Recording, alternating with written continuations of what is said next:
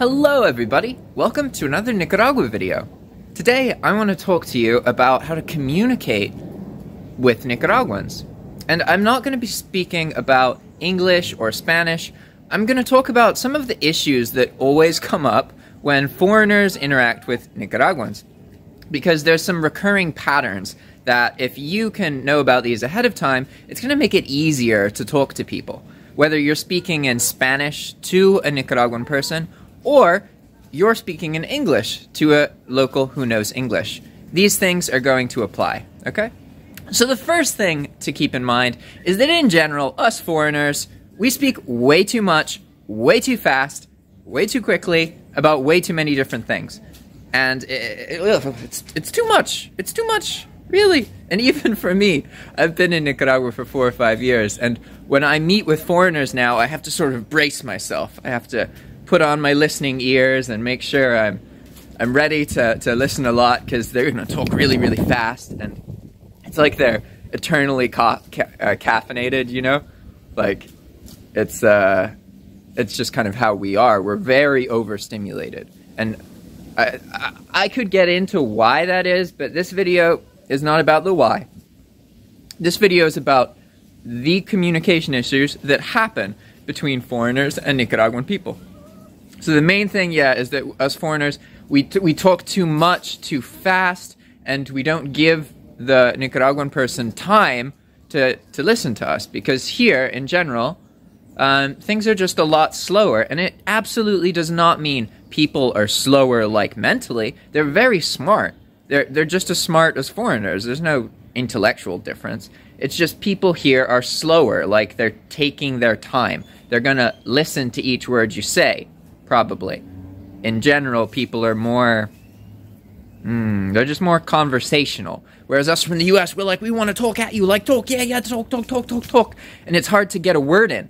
You know, in, in US culture at least, and maybe a bit in Europe, you sort of have to uh, sort of interrupt, you know, in order to say something. Whereas in, in Nicaragua, it's not usually like that. People will actually stop talking, they'll take a break to give you a chance to say something.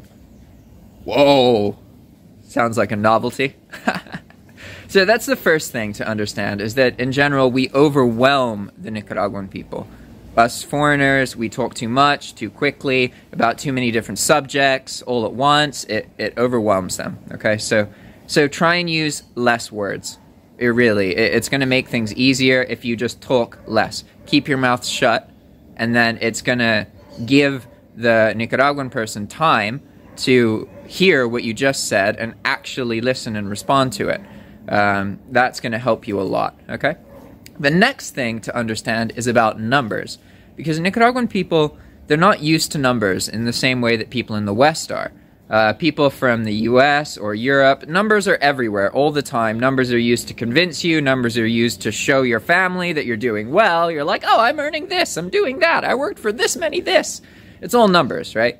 Whereas here in Nicaragua, uh, use of numbers and especially things like percentages in normal conversation is absolutely not common. So if you're regularly saying like, yeah, 50% of the time, 80% of the time, people aren't to intuitively understand that. They can think about it and figure it out what you mean, but they're not used to it. People in Nicaragua don't use percentages. We they don't use a lot of numbers.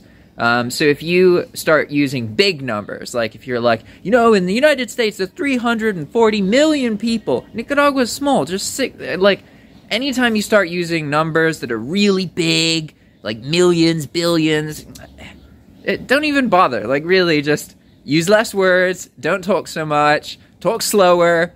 Don't use numbers because you're going to confuse people, and they're not really. Again, it's not that they're they don't understand numbers. They they can. It's just that it's not normal here to use numbers a lot in conversation. So if you do that, it's weird. Like it's like confusing for people because they're not used to that. Okay? So the second thing is numbers. First, words, too many words, don't do that. Second, numbers. Avoid the numbers. Now, the third thing is sort of more for you as a foreigner. You should understand that people in Nicaragua are very direct. Like, really, they, they don't really beat around the bush that much. So, like, say that you're overweight or you're really thin or you're really pale or your skin's really dark or whatever, you'll have people walk up to you and be like, "You're skinny. You're fat. You're this." They, they, they'll, they'll literally, it's like, ah, plant is green, tree is tall. Like they're they're just gonna make an observation about you, and if you're from the West, you may be uncomfortable with this because we're used to people. It's sort of you don't talk about someone's body unless you're trying to insult them. for the most part, really. Like, yeah, maybe you're giving them a compliment, but for the most part, you don't talk about like to call call someone fat to their face is kind of like in the West that's not that common. Whereas here in Nicaragua, yeah, that, that's absolutely common. People have no qualms really. Nicaraguans generally don't have many hesitations in making comments about people's physical appearance. Me, for example, if I walk around in the street, I'm just called flaco. That that means like thin person.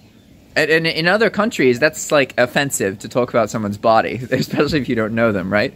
But here, it's literally just anybody could call me that. Literally, like I could go to a bank and they'd be like, "Hola, flaco." Like it's like it's just a kind of way of saying hello. And again, in in in Nicaragua, it's it's sort of normal. People Nicaraguans are kind of hard to offend. They they can say offensive things, and they're they're usually not that polite, like with their words. But they're much harder to offend, actually offend, and then be mad at you for what you said. Uh, that that's much harder to do than than like us from the West. We're more easy to take offense. you know what I mean? Now, the next lesson is sort of more about the Spanish language itself. Um, something to understand about Spanish, at least compared to English, is that it's harder in Spanish to reference things accurately. And especially, like, okay, if you're talking about, like, pure dictionary educated Spanish, that's one thing, but that's different. People don't speak that way. People speak in, like, slang, right? And more of a, a simplified kind of Spanish. And in general, uh, in, in English, for example, I can say, I am doing this, and this person did that, but don't confuse that person with me or you. I can use all of these references in a couple sentences and make it clear who I'm talking about. Whereas in Spanish, there's not, people don't use references accurately, really. So they'll just say su, or basically they'll say your, but it means in Spanish, su could mean you, it could mean theirs, it could mean a lot of different things. And this ambiguity often is quite confusing. Like when I interact with people um, and I'm speaking Spanish trying to purchase something, there's often confusion because they'll be like, ah, sold. Like they literally just say sold. They don't say, I sold it to you, or I sold it to them, or I sold it. No, they just say sold. And you have to interpret, ah, they mean sold to someone else. Or, if you're lucky, ah, okay, yeah, sold. I sold it to you. But you see what I mean? There's a lot of vagueness, and that can be quite confusing. And some people, uh, Spanish speakers in particular, are, are really hesitant to use names and direct things. So they're always speaking about the world in a very sort of vague way, like, ah, they do this, these do that, but they'll never name people, you know? So it's it's a little bit confusing. And that's just something to keep in mind when you are uh, speaking in Spanish or people are speaking in Spanish to you. Just keep in mind that it, the, the harder part, the trickier part, maybe this is just for me, isn't so much the words, it's understanding who or what the person is actually referencing. I can understand what they're talking about, but people tend to not say exactly who they're talking about. So it's confusing. They'll just say like su, right? And that could mean you're the person they're talking about. It could mean the person they just said in the past sentence. That's who they're talking about. It, it's it's it's it's confusing.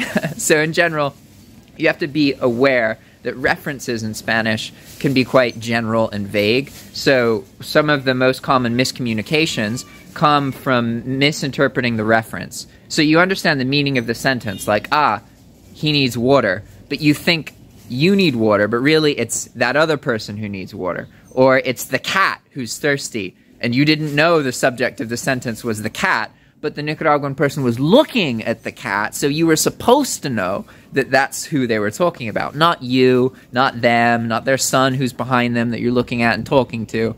You know, you really have to pay attention to figure out the reference points.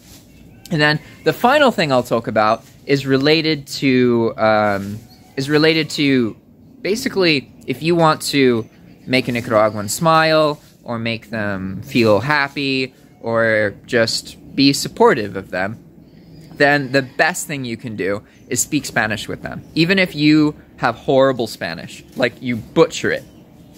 That even if it's that bad, it'll make them laugh. But people in general in Nicaragua, they feel like unrecognized by the world. And so when you speak their language to them and you're a visitor in their country, they feel good about that. Like really, most it's the easiest way to cheer a Nicaraguan up. Like especially if it's someone you kind of know, you can just say something dumb in Spanish and they'll laugh. Like really, it's like just because you're a foreigner speaking Spanish, it makes it amusing to them. And it's also the easiest way to show them that you sort of care about their culture and you're not just here to fuck around and you know spend money and shit and leave. Like you want to actually try and speak to people a little bit because they, they don't expect you to be fluent. Honestly nicaraguans won't expect you to know any spanish at all. So like i can go up to somebody and like greet them in perfect spanish and I, I don't know perfect spanish but i can greet i can do the basic interactions really well right and they will still assume i don't know anything because Nicaraguans are just used to foreigners not knowing any Spanish. So that's why I want to end this video at that point. If you're trying to interact with a Nicaraguan, really the best way to be on their good side is to speak Spanish with them. Really. You don't even have to have long conversations, just try. That's all that matters. And especially if they can see you're struggling, it almost makes it better. Like it, it, it's it's more endearing to them to see that oh you're not even fluent but you're trying anyway that's so cool like that's kind of the attitude most nicaraguans have and in general it's really easy to talk to nicaraguans nicaraguan people are really like um, open to conversation in a way that people in the us and in the west like in europe we're more close-minded to strangers in particular like here in nicaragua I can go just like sit in front of my house and people will like walk by the street and sometimes like my neighbors will be like, "Ah, hey, what's going on?" and they'll like stand there and talk to me for like 10, 15 minutes and I could go in the morning when people sit in front of their houses and go talk to a neighbor and it's totally normal and acceptable even if I was just some random stranger. Like I could walk up to somebody and be like, "Hello, how are you?" that kind of thing and it, it's it's normal. Like people here are, are pretty talkative and they, they want to get to know you, especially if you look like weird or you look like you're from somewhere else. They'll always be like, ah, where are you from? That kind of thing, you know? And, and normally they, they, they have a, a, a guess in their head. They're like, I think this person's from Germany. And then they ask you and they're like, where are you from? And they're sort of trying to confirm based on how you look where you're from because they have a guess in their head, right? So that's sort of a game that a lot of people, not of Nicaraguans play, so to speak. It's like they see a foreigner and then they're like, hmm, I wonder where this person is from. And then you ask, where are you from? And you learn, and then you're like, ah, I was right. so that's just something else to keep in mind. And that's it for this video. I hope you enjoyed. If you want, you can consult with me. I do consultations for $20 per 30 minute session. Uh, usually, people talk about Nicaragua, uh, earning money online, online business, sometimes about how to sort of squeeze yourself out of the system, so to speak. That's something I, I specialize in. And also people who are coming to Nicaragua but feel a little bit nervous or anxious and they just want to talk to someone who is living in the country who kind of like can tell them how things are a bit. You know, those are the kinds of people who tend to book the calls and get the most value out of them. So if you're interested in that, all you have to do is go to calendly.com slash Jack Dermot Pitman. You can click on the link in the description of this video, or you can just go to the website Calendly and type in everything and you'll go straight to the scheduling page. And it's just $20 per 30 minute session. You just give in some information and pay, and then it books it into my calendar, and I see it, and I show up to the meeting. It's pretty easy. You don't need to like reach out to me and do a whole bunch of communication beforehand. You can literally just book the call, and I'll show up at the time that you specify. Okay? Thanks for watching, and I'll see you next time.